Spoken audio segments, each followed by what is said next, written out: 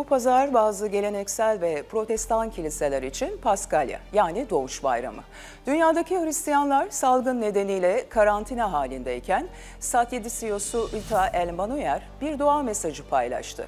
Mesajında İsa Mesih'in haç ve diriliş yoluyla kendisiyle barıştırmayı seçtiğini vurgulayan Elmanuyer, bu ümidi, neşeyi ve sevgiyi bu kadar çok ihtiyacı olan bir dünya ile paylaşma görevini bize emanet ettiğini dile getirdi.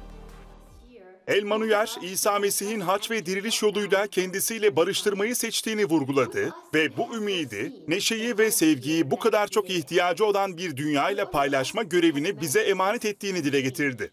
Geçen yıl Paskalya ile karşılaştığımızda çoğumuz ilk kez karantinaya girmiştik. Önümüzdeki zor yılı hiçbirimiz önceden tahmin edemezdik diyen Elmanuyer, milyonlarca insan için gerçekten yürek burkan bir zaman olduğunu, tesellinin her zaman olduğu gibi dua, paydaşlık ve yaşayan Rabbe bağlılık olduğunu sözlerine eklerken, geçen Paskalya'dan bu yana bu aynı umut ve sevincin, Satyedi'nin çalışmalarıyla programlarımızın ve yayınlarımızın her birinde parladığına inandığını vurguladı.